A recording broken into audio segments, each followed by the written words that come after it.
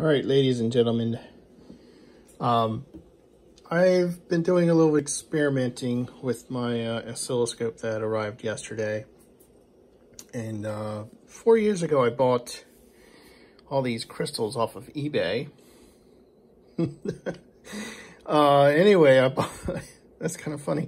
Um, I bought them and uh, they're 3.2 megahertz, which is actually a good um, frequency for clocks just because with uh, binary division, you can get down and determine um, when one second passes with uh, one hertz. You just keep uh, dividing by two, I think 15 times or something like that. Um, but anyway, I, if, if sometimes you don't see what's pr printed on these, Teddy, we're going to go for a walk in a little bit. Um, but I can see this, so I, actually have a number to compare against. So I guess I could actually check the, the accuracy of this as well. And the way you do it is you get yourself a signal generator and you also get yourself an oscilloscope. I have two probes set up. I only need one, really. But the second probe is just to uh, confirm uh, what's coming through without, without the testing. So right now I have my signal generator set up to 3.2 megahertz. It's actually, a, I have a little bit more accuracy there that, um, let me, let me adjust the frequency. I can just bring that down because I can show you what I've been, what I've been doing and how I got to that frequency. Um, and this has changed, so I'll just do the auto detection thing.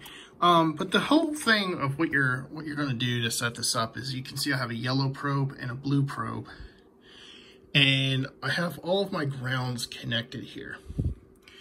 Now, the yellow probe is on its own on the side.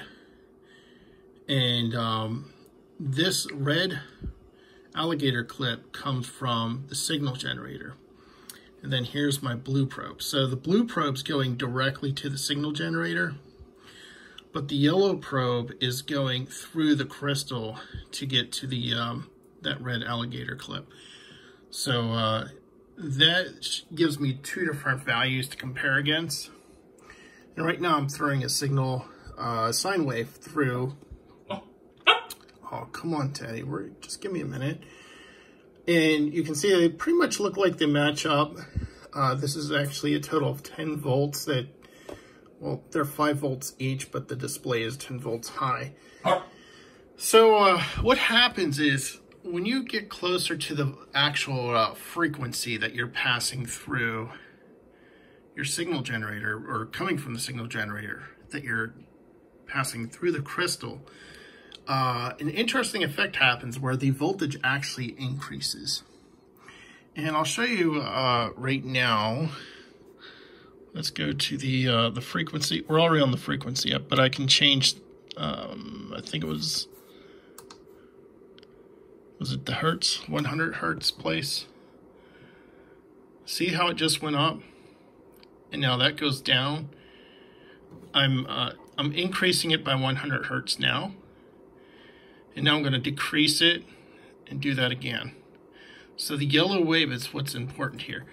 As long as that wave goes up, now see it just went down, but, but okay, so I'm at zero or 100 hertz. I'm going to add 100.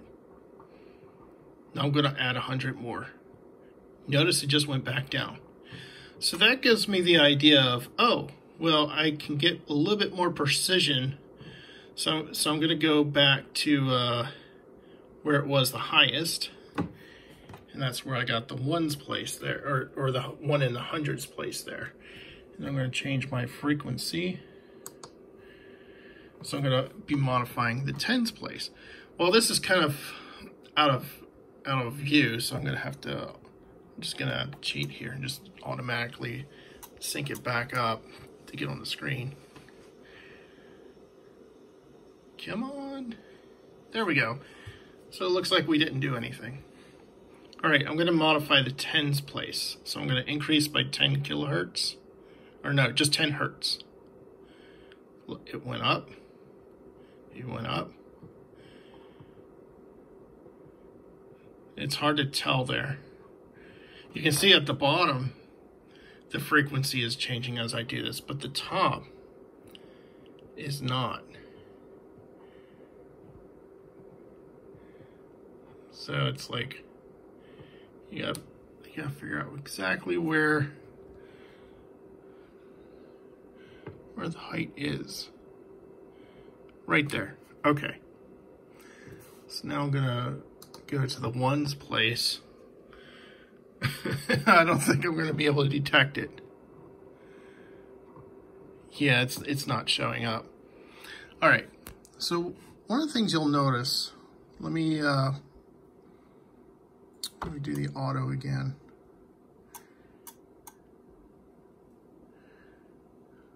and just see if it'll uh, resync itself up. Okay, there we go. You'll notice at the bottom, see the yellow frequency, 3.18 megahertz, 3.2.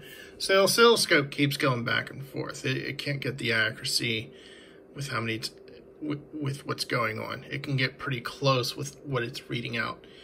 Uh, I'm not sure if just because this is a low-end entry model oscilloscope, um, but out here, this guy is saying he's putting out a specific waveform, and we do see how it gets um, affected.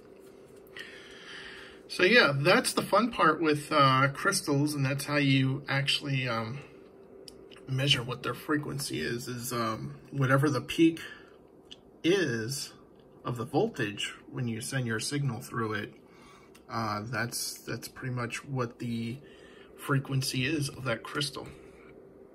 So, uh, yeah, fun stuff.